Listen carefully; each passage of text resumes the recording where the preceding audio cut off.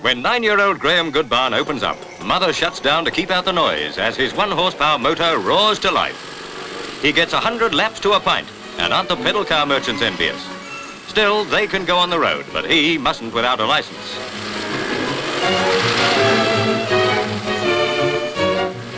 Mrs. Lowe's